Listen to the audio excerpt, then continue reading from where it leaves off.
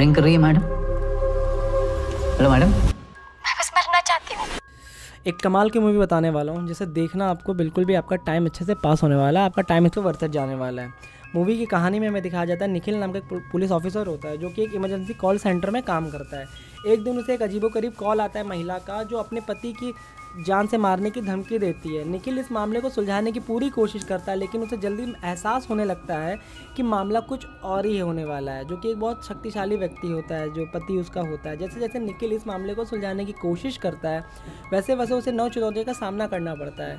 महिला की जान के खतरे में, उसको लगता है कि वो महिला की जान खतरे में इसलिए वो अपनी पूरा एफर्ट डालने की कोशिश करता है। क्या निखिल इस मामले को सुलझा पाएगा?